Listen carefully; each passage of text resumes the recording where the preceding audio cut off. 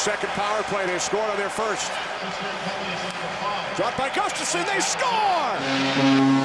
Second power play goal of the period for the Flyers. Gustafsson involved in both.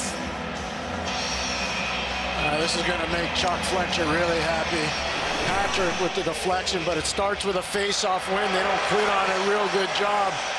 Nolan Patrick's eventually going to get to the front of the net right there, and it's going to chip in off of him. Gustafsson is going to take that relay from Farabee. Second assist of the game for Farabee.